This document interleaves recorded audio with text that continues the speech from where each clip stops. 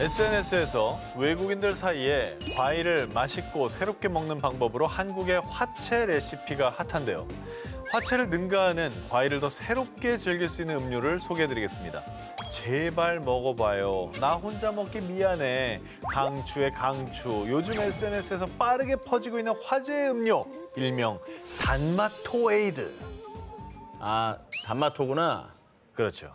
단마토는 아시네요. 단마토 유행이잖아요. 아, 그렇죠. 유행이죠. 그 스테비아 방울토마토 얘기한 거예요? 맞아요. 그걸 단마토라고 합니다. 단마토라고 그래? 네. 자, 무더위 무찌르는 청량한 맛으로 사람들의 입과 마음을 사로잡은 일명 단마토마토라 불리는 스테비아 방울토마토와 탄산수의 만남. 뭐야?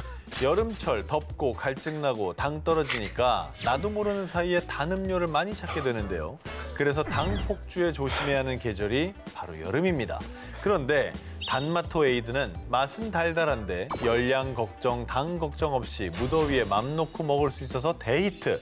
레시피요. 너무너무 간단합니다.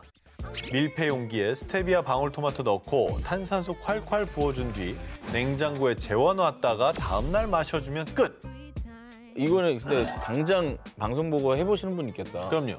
이게 뭐 보통 에이드라고 하면 청 만들고 이런 거 생각하실 텐데 아. 그런 거 전혀 아니에요. 이건 그냥 부어놓는 거 아니에요? 그냥? 부어놓는 거예요. 그리고 청이나 무슨 과실 에이드는 너무 맛있는데 이 당 걱정하시는 분들 있잖아요. 맞아요, 맞아요, 맞아요. 그런 분들은 굉장히 스트레스 받아요. 먹고는 싶은데 당 수치 때문에 걱정하시는 분들은 이 단맛토는 없어요 그게. 그럼요, 당이. 스테비아- 스테비아는 이제 칼로리가 낮으니까. 어, 낮으니까 단, 단 것도 채워주고 시원하고 칵하는 탄산 그것도 있고 맞습니다.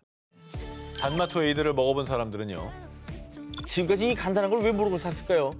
한 모금 마시자마자 그냥 일어나서 기립박수 쳤어요.